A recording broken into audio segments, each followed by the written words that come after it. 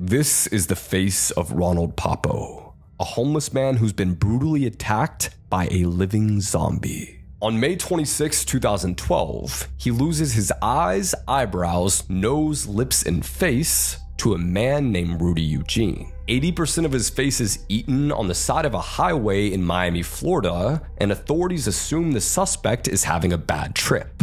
Due to a new drug on the market, that turns people into real life zombies. However, when the test results come back, the drug report stuns everyone involved. I've done a full breakdown of the case here, and it is grisly.